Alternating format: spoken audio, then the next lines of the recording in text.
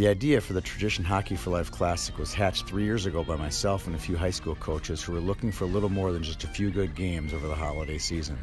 We wanted a first class venue with two nice rinks.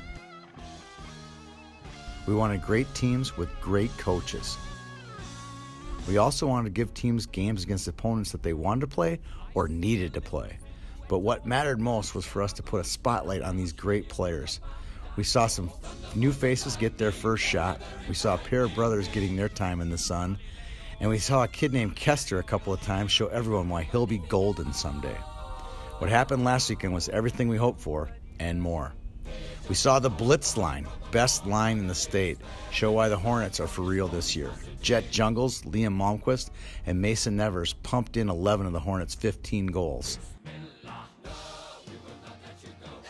EP and St. Thomas both left the Hockey for Life Classic with 2 and 1 records and something to build off of.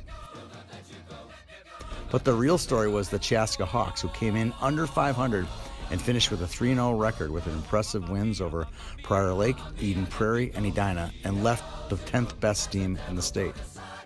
Special thanks to Tradition Companies for bringing the Rhapsody to Prior Lake and the Hockey for Life Classic again.